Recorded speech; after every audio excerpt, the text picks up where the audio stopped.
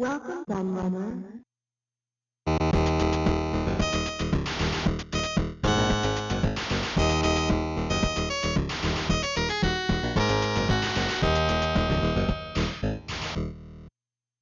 The glory days of the video game arcade might be a long way behind us sadly, but they certainly haven't been forgotten, and in this video I'm going to take you back over 25 years to those heady days that played such an important part in our youth.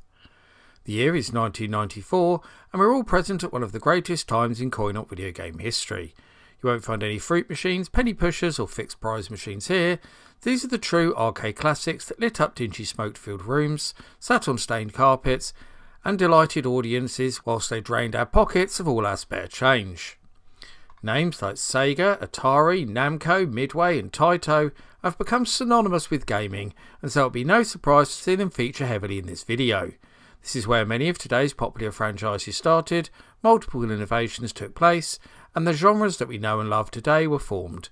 All of these titles play every bit as well today as they did back then, and deserve to be remembered as true classics in the annals of video game history. The first thing I really noticed when I started looking at all the arcade games released in 1994 was the similarity in genres to what we see in today's arcades. Light gun shooters dominated, much as they do in the present day, and as well as the many that made this list, there were loads that didn't, like American Laser Games, The Last Bounty Hunter, and both Under Fire and Operation Wolf 3 from Taito.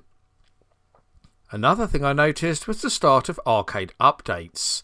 New versions of existing games promoted as sequels, something else we see a lot of in the modern day. That's not to say that there weren't still a few genuinely original gems released in 1994 though, as you'll find out very shortly when we begin the countdown.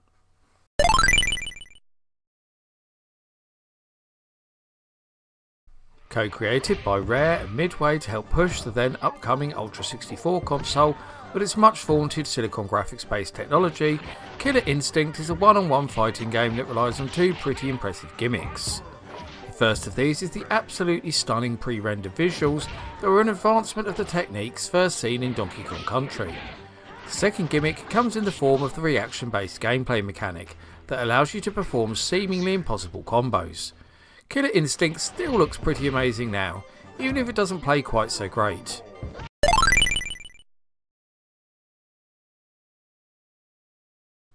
To celebrate the 15th anniversary of their most famous game, Taito decided to bring Space Invaders back to the arcades, with this DX edition.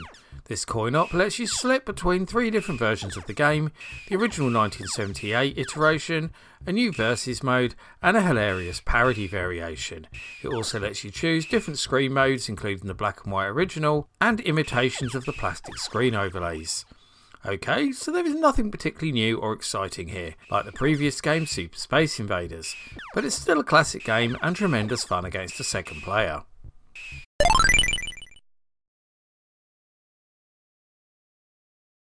After the huge success of the first Lethal Enforcers game in the arcades and on home consoles, it was pretty obvious that a sequel would follow. But rather than taking place after the first game, this sequel takes us right back in the past and the good old days of the Wild West. Apart from the change in the setting, the actual gameplay is exactly the same. There are main levels that consist of still screens where enemies appear and you have to shoot them before they shoot you, and then there are some scrolling stages, such as the one where you're following a stagecoach that criminals are trying to hijack.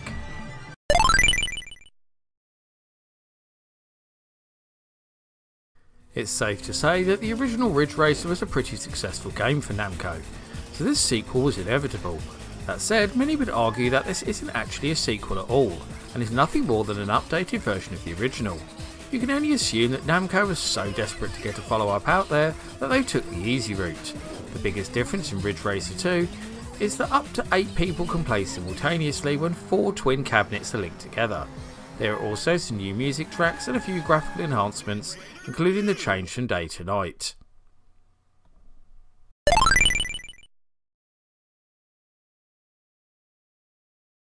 One of the few games released as part of EA's short-lived venture into the arcades, Battletoads was actually the very first game developed by Rare to use the 3D graphics technology that was later implemented in both Donkey Kong Country and Killer Instinct. Battletoads was always seen as a rip-off of the Teenage Mutant Ninja Turtles, and it's clear that this arcade iteration borrows pretty heavily from the blueprint of Konami's coin-op classic, being more of the traditional scrolling beat-em-up. It's not just the gameplay that changes from the console titles either, as the violence levels have increased dramatically.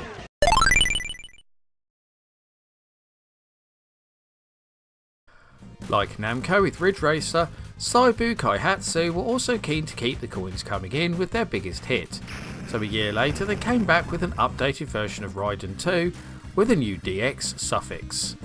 The adapted name wasn't the only new thing though, as it also had three different game modes.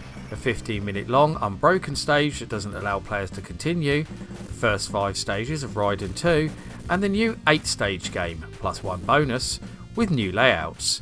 This was more than enough to keep the shoot 'em up aficionados happy for a while, as the game's sales figures prove.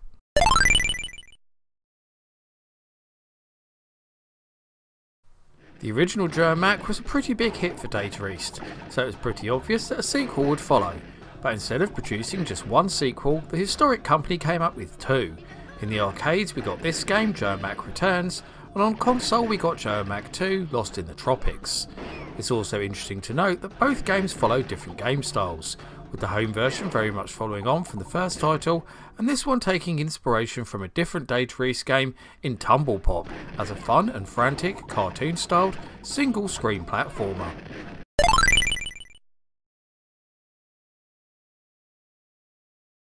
Now light gun shooters certainly weren't new or original at this time, as this list very much shows, But what about a gun game featuring one of the world's biggest rock bands? And that's exactly what Midway's Revolution X is, as the main stars of the game are none other than Aerosmith, who also supplied the absolutely awesome soundtrack. The digitised graphics and scaling effects help bring the absolutely crazy plot to life, and you can't help but smile as you play it. Revolution X is far from an original game, but it's certainly a very unique one thanks to its rather unusual subject matter.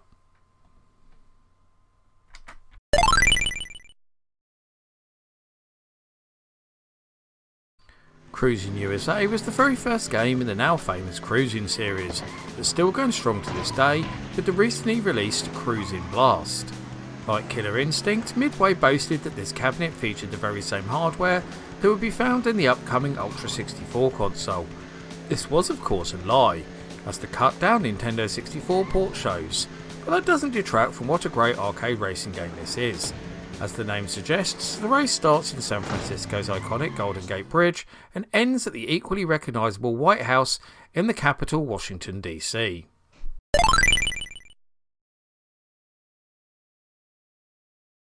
People often talk about the huge battle for arcade supremacy between Sega and Namco at this time, which then spilled over into the console war with the Saturn and PlayStation.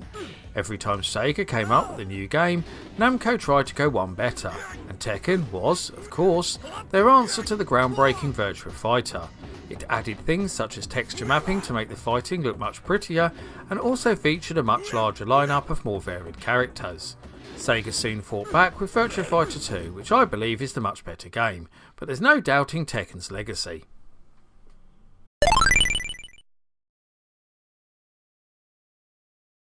The original NBA Jam was a massive smash hit in the arcades the year before. It took the ever popular sport of basketball and turned it into an outlandish multiplayer experience that everyone could enjoy. So it was only natural that Midway would follow it up with a sequel, and this tournament edition expands the original game even further by adding a, you guessed it, tournament mode, and even bigger roster to choose from too. You still have all the crazy power ups, intuitive controls, multiplayer modes, outlandish commentary, and a host of great secrets to discover too.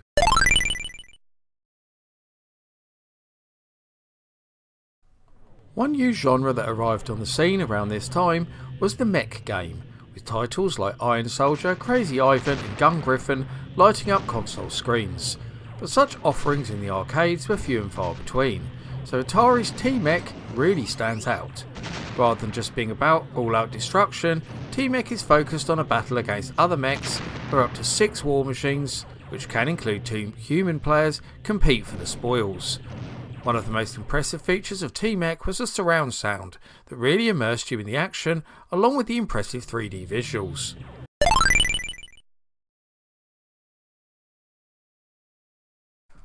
Of all the coin ops that Namco released at this time, Point Blank is by far the most quirky and original. Rather unusually for a game of this type, all the action is non-violent, Players competing in a series of shooting contests and challenges such as shooting bullseyes, cardboard cutouts, flying objects and cartoon-like enemies, as well as protecting the protagonists, Dr. Don and Dr. Dan. Levels are split into six different categories accuracy, intelligence, memory, simulation, visual, and speed, that all require different skills. Point Blank is still every bit as fun today as it was back then.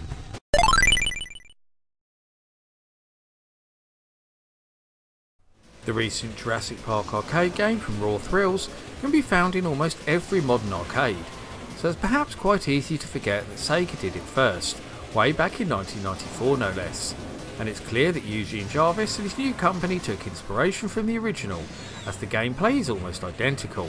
One or two players simply make their way through all the famous locations seen in the film, shooting the different dinosaurs, grabbing the power-ups and defeating the huge bosses.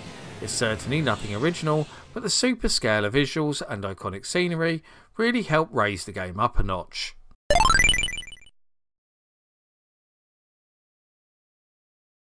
On every one of these arcade lists, I like to include at least one hidden gem, and the Great 1000 Miles Rally is definitely the best candidate for 1994.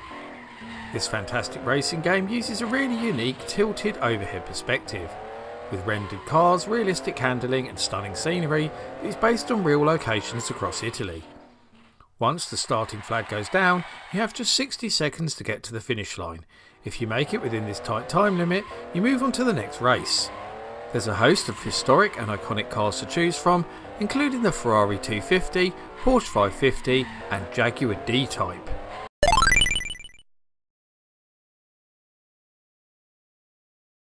Sega's Virtua Cop basically takes the classic light gun shooters like Operation Wolf and Terminator 2 and puts them into three dimensions. You and another player take on the role of two cops trying to clean up the city. The camera moves along by itself and all you have to do is shoot the bad guys whilst trying not to kill the good guys. One of the most important features of Virtua Cop is that you have to reload your gun by shooting away from the screen. One of my favourite features of this game is the way you can shoot parts of the scenery, like blasting out car windows, putting lights out and smashing various objects.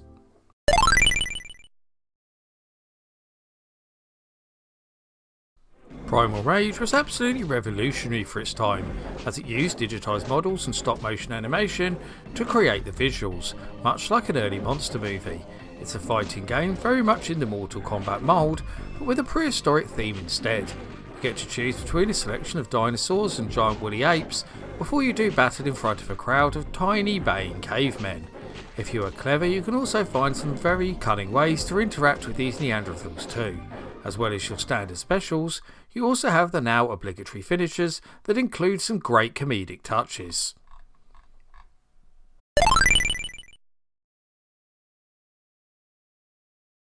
The Bust-a-Move series, or Puzzle Bobble as it was originally known here in the arcade, has to be one of the greatest puzzle game franchises ever. As well as spawning numerous sequels that are still being released to this day, the game has also been cloned to death, especially by mobile developers, in this one or two player game, you play as either Bub or Bob of Bubble Bobble fame as they try to clear all the bubbles from the screen. Using your bubble gun, you must shoot these globes into others of the same colour in order to remove them, which is a lot more fiendish than it sounds.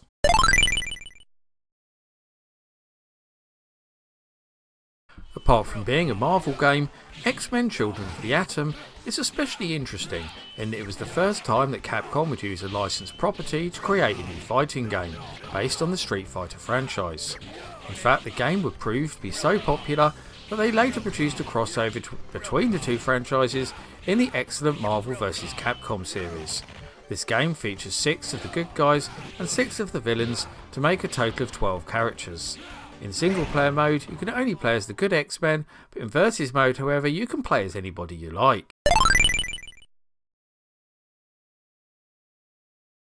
The first Virtua Fighter game introduced the world of fighting games to polygons and established a whole new genre with it. Sega were quick to follow up on the success of the first game and soon introduced Virtua Fighter 2 into arcades.